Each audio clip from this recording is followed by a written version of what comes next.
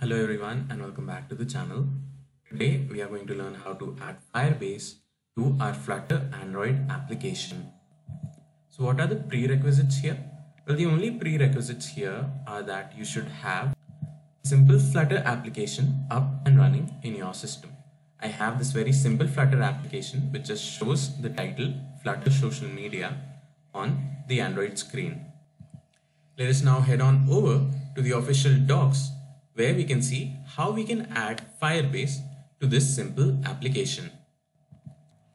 The docs can be found at this URL and please do make sure that you are following the section with Android and not the section with iOS. I will link this link in the description below.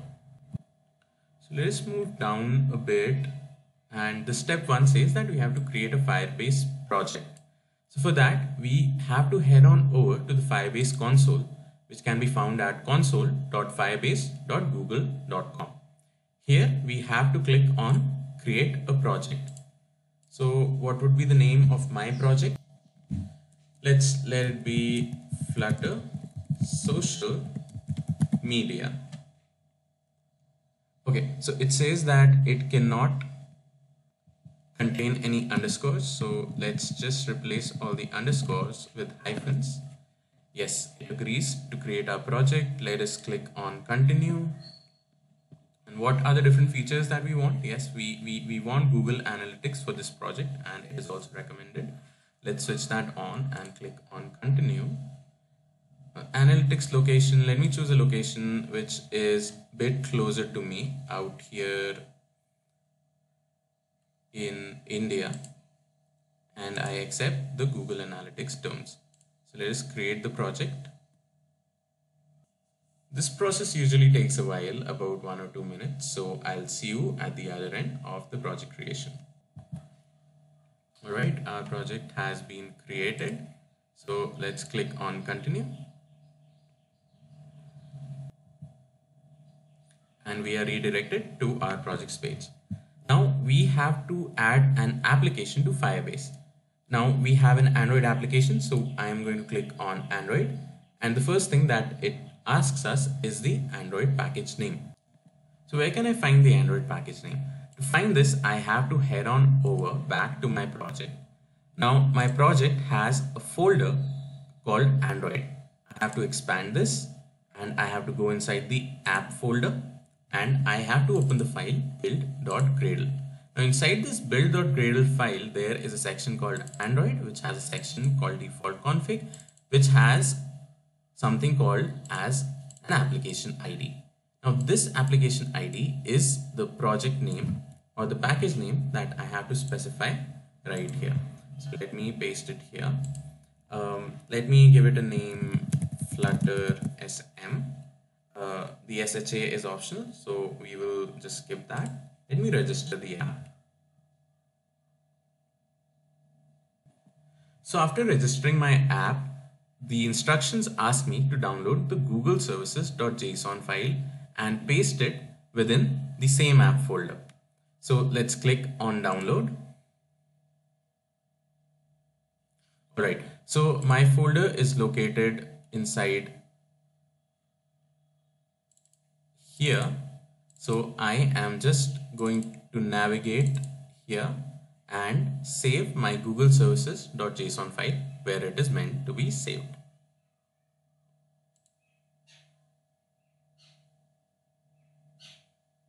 Alright, so that part is done. Let's click on next. Alright, so here it asks us to make some changes to our project level build.gradle file. So let's go ahead and make those changes and make sure that you're using Kotlin. Uh, okay, so the first thing to do here is we have to add Google's Maven repository. So let's open our build.gradle file. This time we need to make changes in the project level build.gradle. Okay, so we already have Google's Maven repository right here. What is the next step? We have to add the class path in the dependencies. Let's go ahead and add that. Dependencies all right let me add new line here let me paste what I just copied. Let's save this.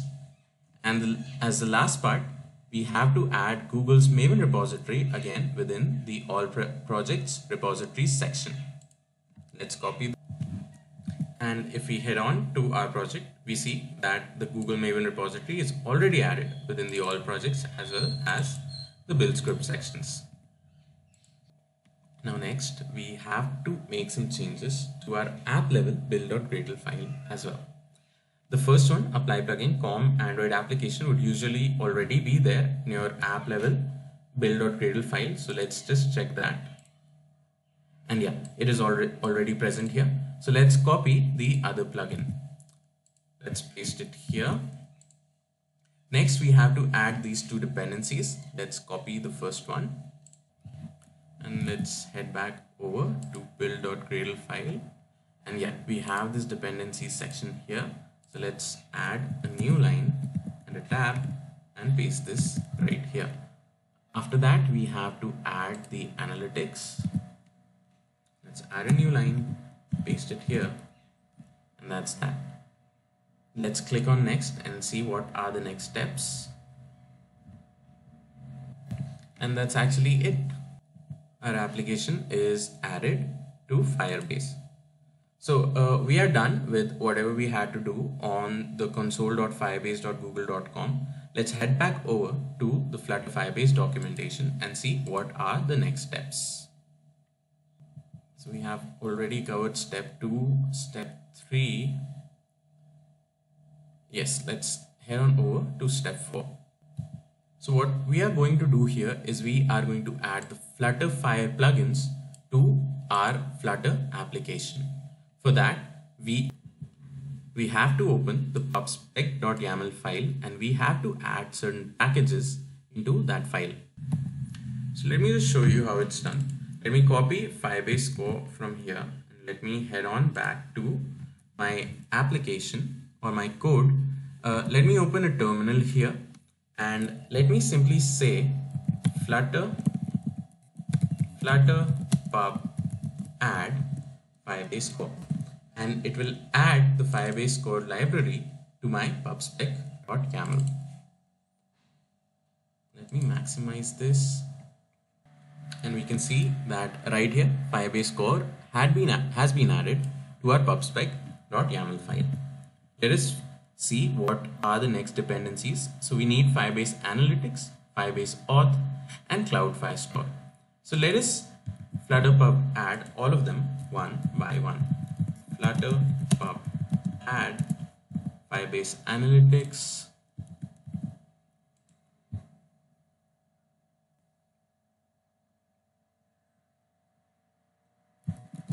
flutter pub add firebase auth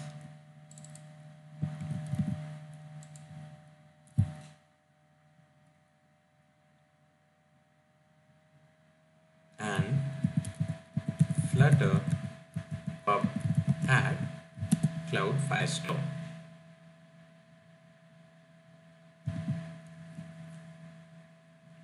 After that, we have to run the command flutter packages get to get any missing packages. And I think so, that would be it. So let us learn run flutter packages get.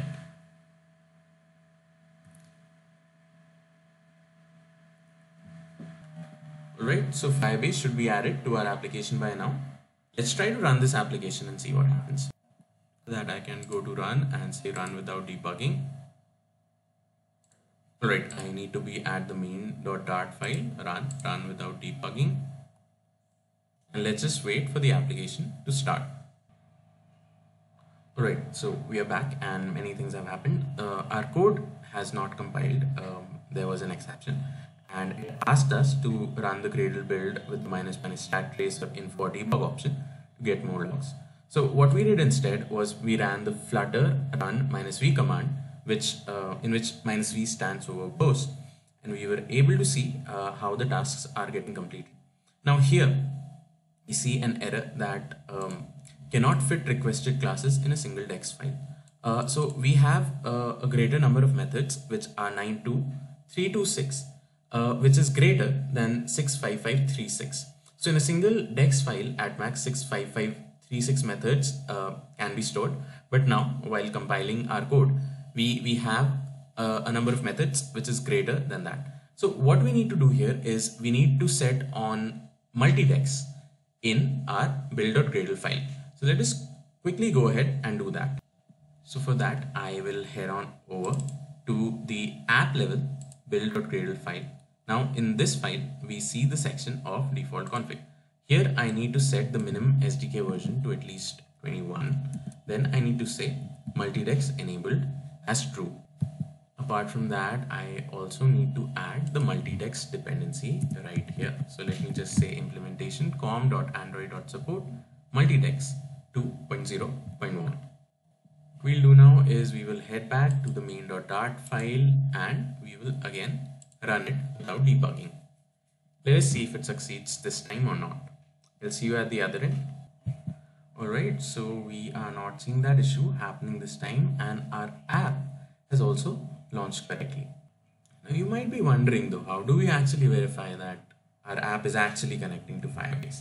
I'll show you a very easy method to do that just head on over back to the Firebase console and here you have to go to analytics. Within analytics, head on over to real time and at the bottom of the page, you would be able to see that in the last 30 minutes, there has been one user for our app, which is located somewhere in India, as you can see on the map here. And uh, yeah, so that user has to be us since we are the only person who has added uh, Firebase to our application and we are the only person who is accessing the app right now. So this user is one and this signifies that we have succeeded in actually connecting a Flutter application with Firebase. Alright, so that's it guys. We have successfully added Firebase to our Flutter Android application. All of the code that we saw today can be found in this GitHub repository ae dorado slash flutter underscore sm. So please do check it out as well. In our future videos, we will start with building our Flutter social media application. So if you like the content of this video and found it helpful, please do hit the like button. If you like the content of my channel, please click subscribe and hit the bell icon to never miss any new updates. And like always, thanks a lot for watching. I'll see you very soon in a brand new tutorial.